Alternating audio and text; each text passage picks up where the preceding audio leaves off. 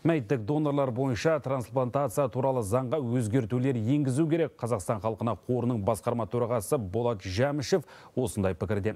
Соңғы кезде осы қордан көмек сұрайтындар көбейген. Оған себеп те бар. Қазір 4 мыңға жуық қазақстандық ағза алмастыру кезегінде тұр. Ал елде донор жетіспейді. Мәселені шешудің жолы қайсы? Қайтыс болған адамның ағзасын пайдалануға не кедергі? Тілшіміз Нұрсұлтан Тілектес мәселені зерттеп көрді. Я 12 лет уже живу с чужим сердцем. Жәнібек Оспановқа 2008 жылы кеңейтілген кардиомиопатия деген диагноз қойылған. Яғни жүрегі қан айналдыруға қауқарсыз болып қалған. 4 жыл донор іздеп үміт үзілер шақта дәрігерлер оған ауруханада жан тапсырған марқұмның жүрегін салған. Это был Маған миына қан құйылып ауруханада қайтыс болған 47 жастағы әйелдің жүрегін салды. Трансплантацияға марқұмның балалары өз рұқсатын беріп ота сәтті өтті. Енді мен де өмірден оссам донор болғым келеді.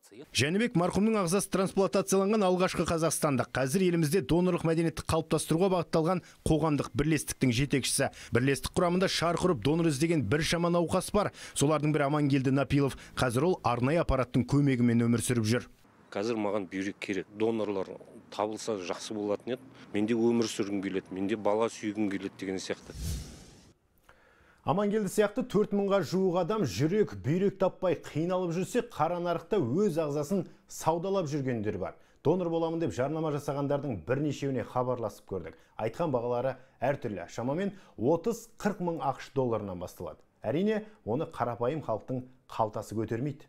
Әрі бұл заңға қайшы, яғни адамдардың өз ағзасын саудалауға тыйым салынған. Бүгінде дертіне ем іздегендердің басым бөлігі Қазақстан халқына қорына өтініш беріп жатыр. Правительство Үкімет пен парламент мәйттік донорлар бойынша трансплантация туралы заңға өзгертулер енгізу керек. Біз бұл бағытта азаматтарға көмек бере алмаймыз. Өйткені оларға шетелде донор табыла ма жоқ па белгісіз. Елде мәйттік донорлар санын арттыру керек. Яғни марқұмның ағзасын туыстарының рұқсатынсыз алу керек. Бұл ұсынысқа қатысты халықтың пікірі қандай? Мен қарсымын оған. Басқа бір тараптарға көмек қажет болатын болса рұқсат беруге болады Дұрыс емес деп ойлаймын. керек емес денесі бүтін болған жақсы сияқты Мұндай бастаманы халықтың басым бөлігі құптамайтын сыңайлы, бірақ дәрігерлер елде 4 мыңға жуық азаматқа донор керек екенін ескертеді. Донор болам деп айтып кетсе де туыстары келісім бермейді. Сол себепті бізде шамалы төмендеу болып тұр трансплантациялар. Егер 2022 жылы 16 мәйттік донор болса, 23 жылы 19 мәйттік донор болды. Соңғы 10 жылда елімізде 93 адамға ғана трансплантация жасалған. Бұл өте төмен көрсеткіш дейді мамандар. Ал марқұмның ағзасын алу мәселесіне қатысты дінде не айтылған? Имамнан жауап алдық. Ол адамның қайтыс болғаны нақты бекітілуі қажет.